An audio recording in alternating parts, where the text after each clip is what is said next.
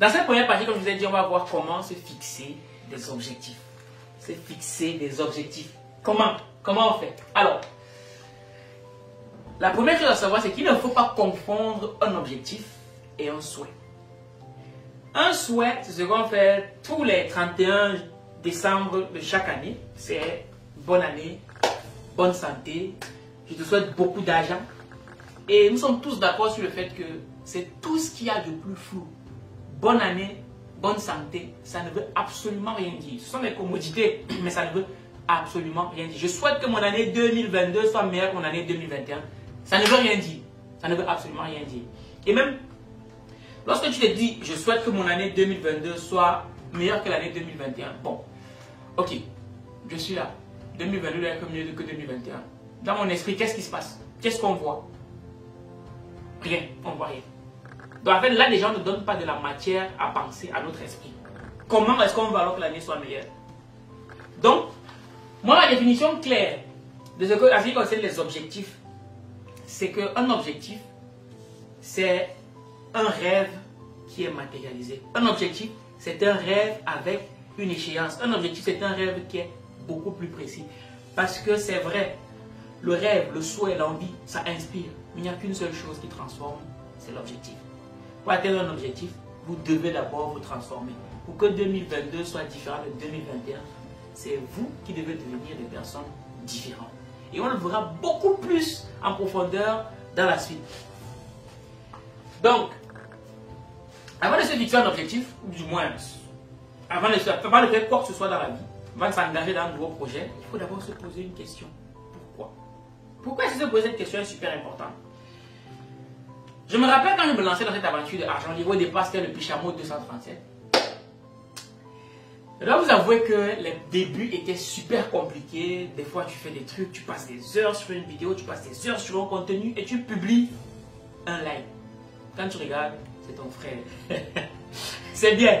Deux likes. Quand tu regardes, c'est un ami et ta copine. Trois likes. Quand tu regardes, c'est un ami, ta copine, puis son cousin. Et quand ça se passe comme ça, tu as juste envie d'arrêter. Moi, plusieurs fois, j'ai eu envie d'arrêter. Mais heureusement qu'il y a eu deux facteurs qui m'ont permis de continuer. Premièrement, c'était ma copine qui m'a dit non, continue, ça va donner. Et aussi, deuxièmement, c'était mon pourquoi. Parce que quand je me couchais le soir, je me disais que bon, j'arrête tout. Je me posais la question de savoir pourquoi est-ce que j'ai démarré cette aventure? Pourquoi? Et si vous réussissez à trouver des pourquoi qui sont suffisamment forts, vous allez toujours trouver le moyen d'avancer ou atteindre vos objectifs. Donc, parmi les pourquoi qui vous permettent de travailler pour atteindre vos objectifs, première chose qu'il faut savoir, c'est que on ne peut pas atteindre une cible qu'on ne voit pas. Imaginez quelqu'un, c'est vrai qu'il y en a qui sont très forts, mais imaginez quelqu'un qui prend une flèche, il y a une cible en face de lui, il se bande les yeux. Ça va être très compliqué pour lui d'atteindre cette cible. J'aime, comme je l'ai dit en amont, ton esprit t'amène où il se trouve. Et celui qui emprunte le, chemin de je m'en fous va se retrouver au village de si je savais. Donc il est capital, voilà pourquoi il est capital de se fixer un objectif, parce qu'on ne peut pas atteindre une cible qu'on ne voit pas. Bonne année, ça ne veut rien dire. Par contre, je veux que, je veux cette année gagner 100 000 euros. Ça, c'est quelque chose qui est visuel. Je le visualise, je le vois dans ma tête. Ok, 100 000 euros. Il se trouve que lorsque j'ai 100 000 euros dans ma tête, tout de suite, je me pose une question. Qu'est-ce que je dois faire pour pouvoir gagner 100 000 euros? Quand on se pose cette question, on commence à chercher les stratégies. Parce que une affirmation ferme l'esprit, tandis qu'une question ouvre l'esprit. Et c'est là toute la magie, le comment. Deuxième raison, c'est que le fait de se fixer un objectif, ça stimule, ça motive, ça booste. Quelqu'un qui s'est dit que je veux gagner 100 000 euros, ben, quand tu te lèves le matin, je te dis, ah, mon objectif c'est ça. Et déjà, tu, n'as pas la même attitude que quelqu'un qui dit qu'il veut gagner beaucoup d'argent. Devenir, je veux devenir riche. Je veux devenir riche ne veut rien dire. Je veux que mon business prospère cette année. Ça ne veut rien dire. Par contre, cette année, je veux pouvoir monter une structure qui va accompagner 50 personnes, 100 personnes, 200 personnes, 300 personnes. Ça, c'est un objectif. C'est clair, c'est précis. Comme on le verra tout à l'heure. Ça, ça donne de la matière à penser à ton esprit. Imaginez que vous arrivez dans un, dans un taxi, ou dans un avion, ou dans un bateau.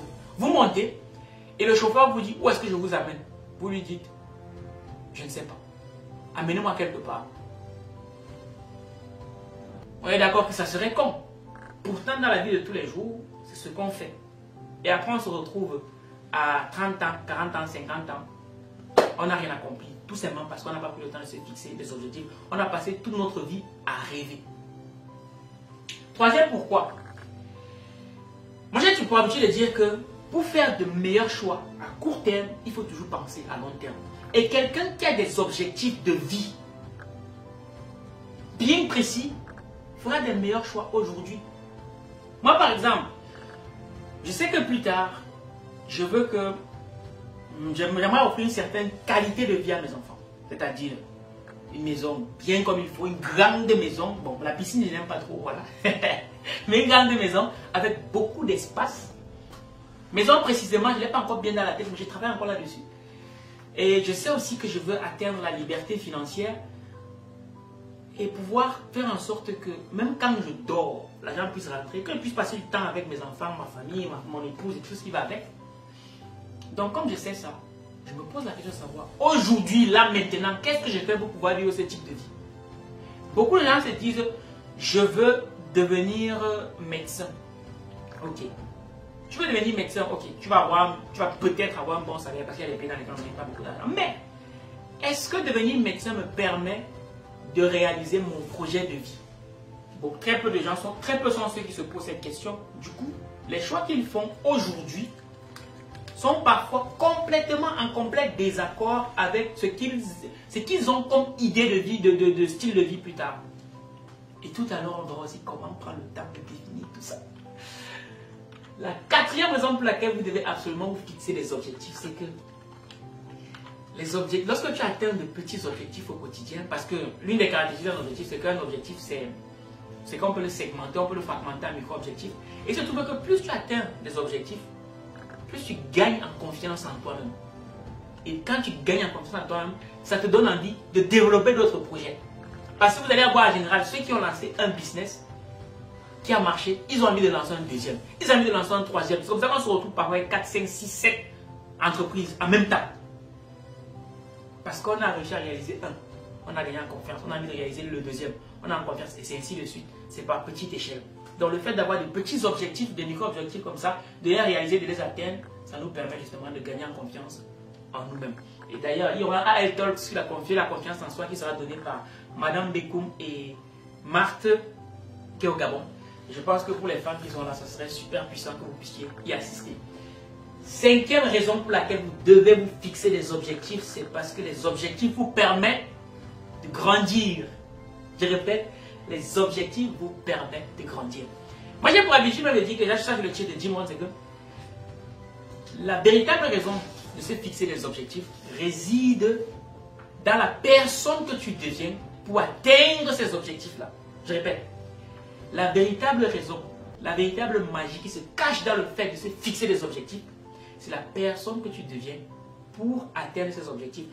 Le valet d'il y a 4 ans et le valet d'aujourd'hui, qui a réussi à embarquer plus de 70 personnes, on est même dit plus de 100 personnes, derrière ce qu'il a construit seul, ce n'est pas le même valet d'il y a 4 ans.